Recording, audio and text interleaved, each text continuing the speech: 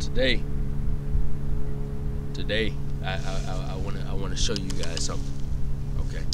And, and and this is this is real serious. You know, this is this is uh this is gloves off.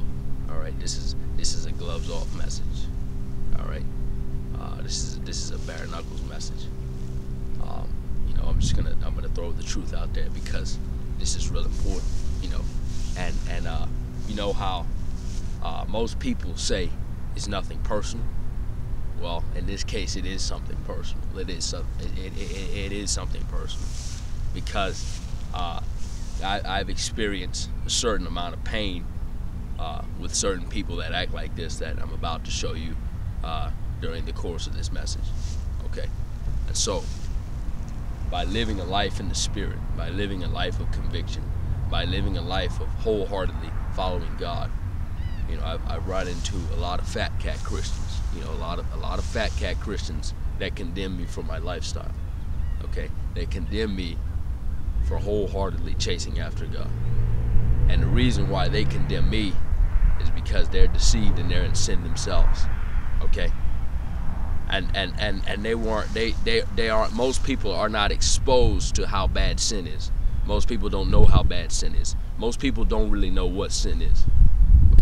That is that is a big problem. Sin is sin is not just a mess up. It's not just a mistake. It's not just a boo-boo. It's not just a falling down. Okay? It's not it's not just some uh, mud stain on your clothes.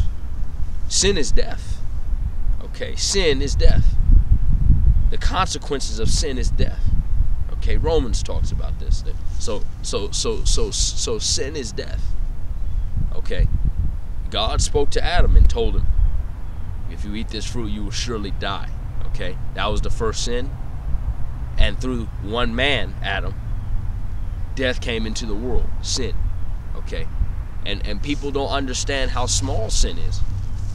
You know, people people people list uh, you know, people usually route off the off the 10 commandments, you know, but people don't really understand the heart of God and and what sin means to God. And I and I want to show that to people because a lot of people are sitting here and they're in a wretched, evil, wicked life, and they think they're good to go. And if they don't change, if they don't do something about the way that they're living, they're they're gonna perish and burn in hell. They're gonna burn in hell if they don't change. Um, and so I, I, I need to I need to address this thing, and I need to I need to hash out this sin thing, and show people that it's not a game. It's it's not a joke. It's not a joke. It's not a joke.